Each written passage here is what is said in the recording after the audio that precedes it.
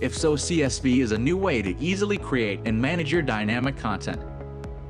This solution is perfect if you need to set up a big number of dynamic versions. Dynamic content can be displayed based on the user's location, time zone, the value of a query parameter, the page URL, and more.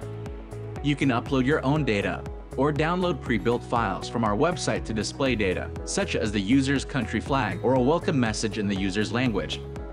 Creating and managing dynamic content is extremely simple. The setup might vary slightly depending on the condition you are planning to use, but the idea is similar. Each CSV file should be associated with only one condition. If you want to apply more than one condition, you'll simply need to create another CSV bulk. Column A includes the values of your CSV bulk condition, and the rest of the columns are the different versions of your dynamic content that you can display on your site using a shortcode if the condition is met. For example, if you would like to schedule date-based content, use column A for the dates. If you want to show dynamic content based on the user's country, column A would be the country's ISO codes. Let's go on with the country-based content example and walk through the whole setup process. After installing If-So and the CSV extension, on your WordPress dashboard, go to If-So and then click Bulks. Click Add a new bulk. Name your bulk. Choose a simple name that will help you remember what the bulk is for. And select the relevant condition. We will use the geolocation in our example. Select the location you would like to target, in our case, the country. Click Choose File and upload your CSV file.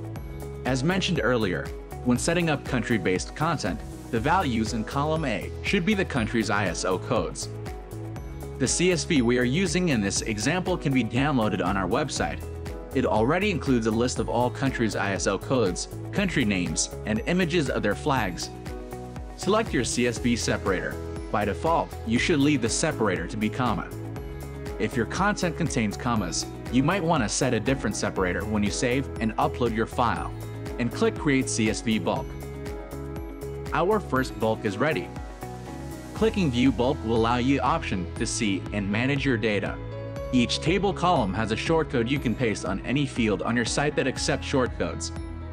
Every time a page with a shortcode loads, the condition will be checked and the value of the relevant field will be displayed. If you want to set up default content that will be displayed if none of the conditions are met, simply add another row and type default dash content under column A. If-So, CSV is flexible enough to suit any need. You can use the CSV shortcodes inside an If-So trigger with another condition. You can use the same shortcode several times on the same page, use several different shortcodes on the same page, or use different shortcodes on different pages. It is compatible with page caching. And you can use or paste the HTML as content in the cells we hope this tutorial was helpful to you. If you have any questions, please don't hesitate to contact us. If-So, a WordPress plugin that makes all the difference. Try it now for free.